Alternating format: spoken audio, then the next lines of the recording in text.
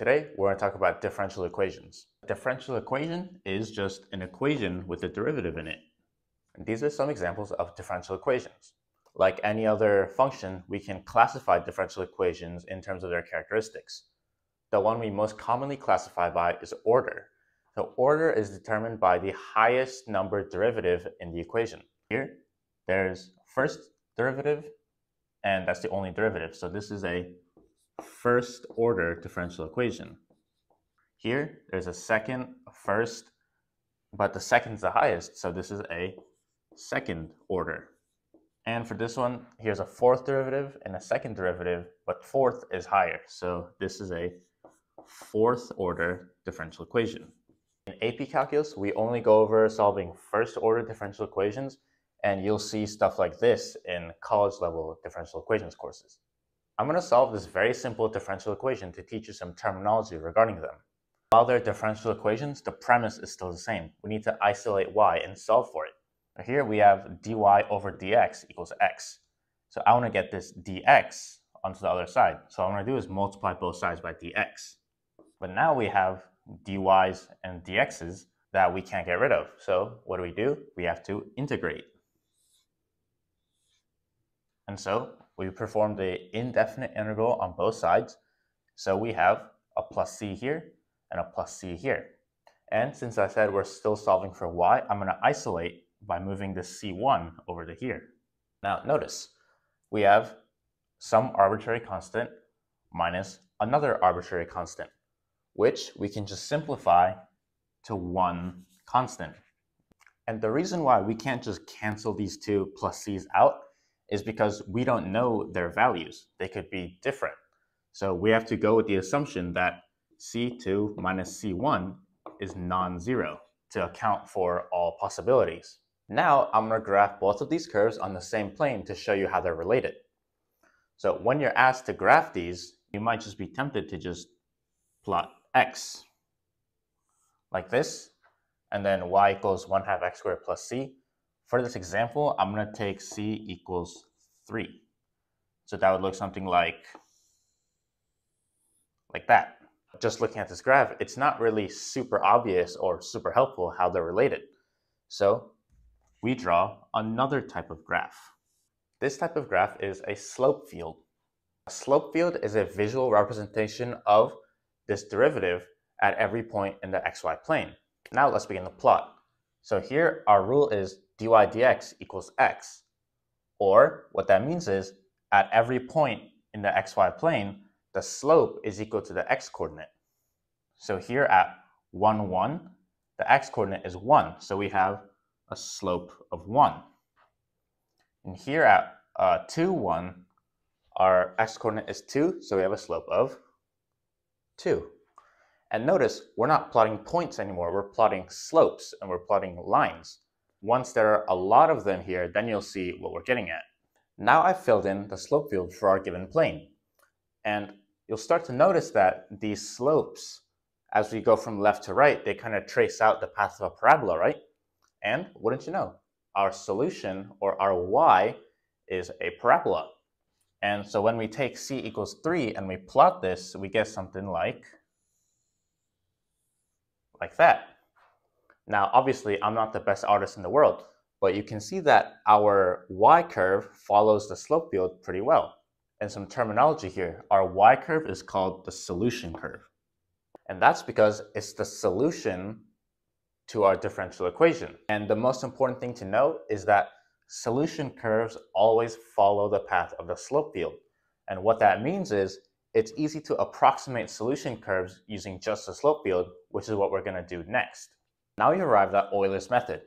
So Euler's method is a way to approximate the solution of differential equations using a recursive method outlined by the following rules. Given a start point, some start point x naught y naught, a derivative of the form f prime of x and y, and a step size of h, then, and then we have these rules. That was probably a lot, but we're going to break it down step by step. The easiest way to see how this works is with a graph. So whenever you use Euler's method, you're trying to approximate the value of here at x final from some known value here at x naught. The first step in making this approximation is dividing this interval into equal subintervals, each of width h, like so. Here, I've split it into six equal subintervals of width h, and that represents that each time we take a step, we're moving a distance h, hence why it's called step size. Now we're going to discuss what we actually do when we take these steps. So this is where the y rule comes in. This says that the next y, or the y associated with this x value, is the last y plus the step size times the derivative at the last point.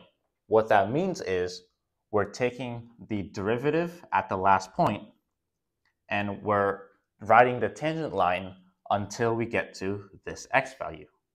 For here, the tangent line is something like this. So we're going to go along the tangent line until we get to this x-coordinate. And then this is our y1. And after that, it's just a matter of repetition until we get to x final. So here, the tangent line to the curve is something like this. So we're going to follow this tangent line until we get to our next stop. And then here, it's something like this. So we're following this tangent line here. This is our next stop. And at this point, it's something like that. So we're going to keep following until we get here. And we're just going to keep going.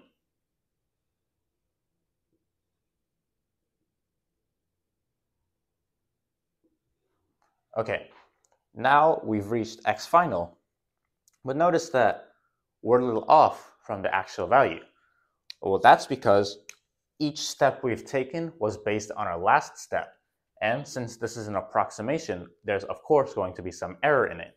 So as we take each step, the error compounds, which leads to this final error. Now, one way to reduce the error is by increasing the number of steps or decreasing h. And you can think of each step as a correction to the course we are going on. So for example, if we just took this tangent line all the way here, we would have gotten here, which is way off. But since we stopped here, we made a correction and went this way, made a correction, went this way. So if you increase the number of steps you take, you're increasing the number of corrections you're making, which of course will make your curve more accurate. And also, because these errors compound in each other, if we were estimating an x final like here, that would be a lot less accurate than here. Because again, the errors compound, so as you go further from your start point here, you get a worse and worse and worse approximation. What we're doing here is we're reconstructing the curve with straight tangent lines instead of one continuous curve. And going back to our discussion about slope fields, these tangent lines are just us following the slope field to get a good uh, estimation of our actual solution. That's how Euler's method and slope fields are related. To close out the video, I'll do an example for you. So we're given that f of 0 equals 1, f prime is equal to x squared plus 2y, and our step size is 0.1, and we're told to estimate f of 0.3. So first we'll set up our rules like so, and now we'll begin building our approximation. We're given x0 is 0, y0 is 1. To find x1, this is x0 plus h, which is 0 plus 0.1, which is 0.1.